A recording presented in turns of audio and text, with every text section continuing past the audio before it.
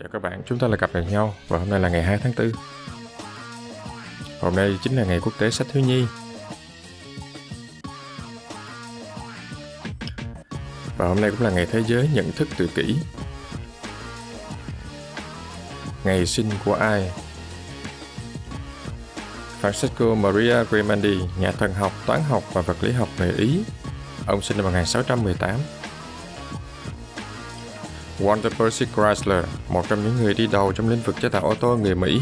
Ông sinh năm 1875. Nhạc sĩ Trúc Hồ, nhạc sĩ người Việt Nam. Ông sinh năm 1964. Quavo, ca sĩ và rapper người Mỹ. Ông sinh năm 1991.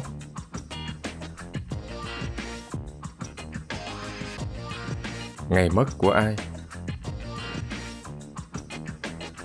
Samuel Morse, nhà sáng chế máy điện báo, ông mất năm 1872.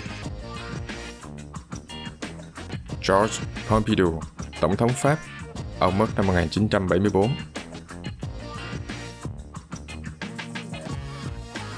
Ramabha vua Thái Lan, ông mất năm 1851. Sự kiện Vào năm 1513, Juan Ponce de Leon trở thành người châu Âu đầu tiên nhìn thấy vùng đất mà nay là bang Florida của Hoa Kỳ. Vào năm 1801, chiến tranh liên minh thứ hai, Hải quân Anh dưới sự chỉ huy của Horatio Nelson thắng hạm đội Đan Mạch Na Uy ở trận Copenhagen.